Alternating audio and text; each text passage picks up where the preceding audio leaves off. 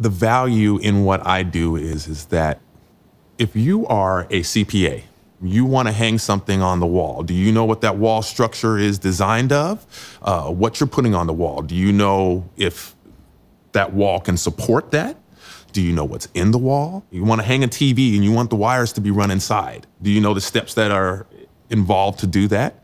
It's not just grab some tape, slap it up on the wall, and ta da, there it is.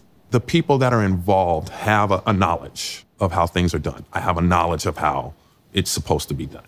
If it's not in your wheelhouse, don't do it. You'd be better off to contact and hire somebody to do it. You'll be more satisfied in the end without you having to worry did I do it right or having to pay for it twice. My name is Lance Johnson, and I'm a handyman, and you can find me on Thumbtack.